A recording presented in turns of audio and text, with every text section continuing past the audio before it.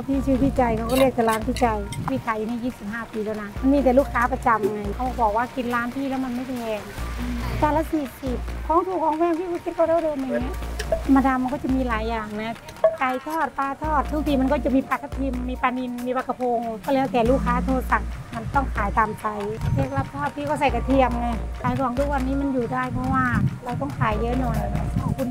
หน่อย แล้วก็ขายถูกหน่อย แล้วก็ขายขาประจำนะใส่เราขายมานานแล้วไม่ขึ้นราคาหรอกซื้อไปแล้ว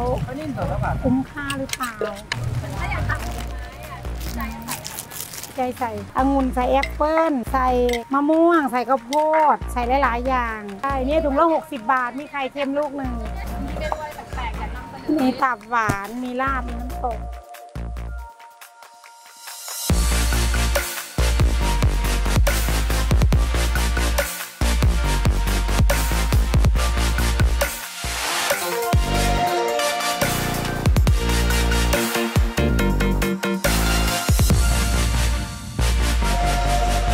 ครับ ใครมาบางลำพูก็แวะมากินส้มตำอุทุมพรกสิกรบางลำพูขายมา